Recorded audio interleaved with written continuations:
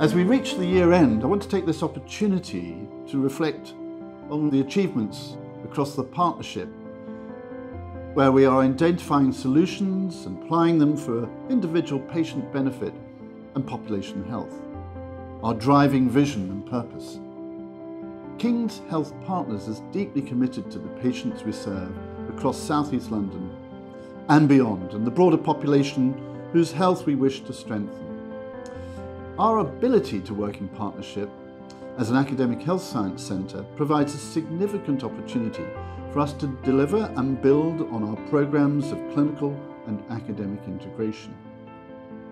In October, we launched our Centre for Translational Medicine, this is a true partnership endeavour. Brings together the four partners across KHP and support and funding from Guy's and St Thomas's charity. It's an important milestone across the whole partnership.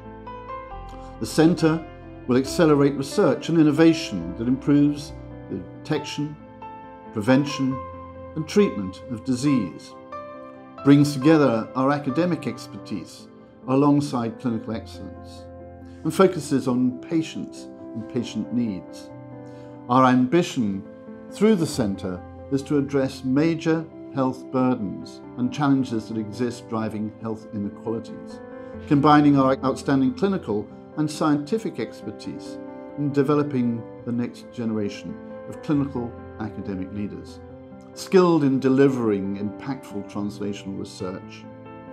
We're proud to continue to work closely with the NIHR-funded Maudsley BRC, which is developing targeted treatments for mental health disorders and chronic pain, and strengthen our ties across our broader network, including the Health Innovation Network and our integrated care system. Our further successes and achievements through our programmes and our clinical academic partnerships are set out in our 2022-23 impact report. Now, as we look forward to 2024, across KHP, we see broader opportunities and, of course, response to challenges in healthcare. We are building on our five-year strategy to accelerate progress in three ambitious but connected priorities. Personalised health, health digital and data science, and population health.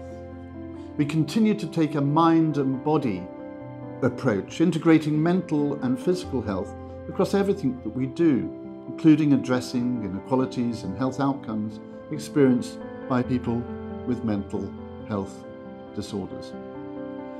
Our priorities are supported by focusing our energy and resources through our life sciences partnership including the SC1 London Life Science Innovation District, investing in our health people through KHP Education and our King's Clinical Academic Training Office, and focusing on driving innovation more broadly across system partnerships. Now, none of this would be possible without the people working across those partnerships, and I may say, in particular, the committed people working directly in King's Health Partners. As we reach the year end, I want to take this opportunity to thank all colleagues and partners across KHP and the wider system for their continued support. I very much look forward to working together in the new year to further explore our collective potential for future innovation and discovery. We have a huge amount to look forward to. May I finish by wishing you all the very best for the festive season ahead. Thank you.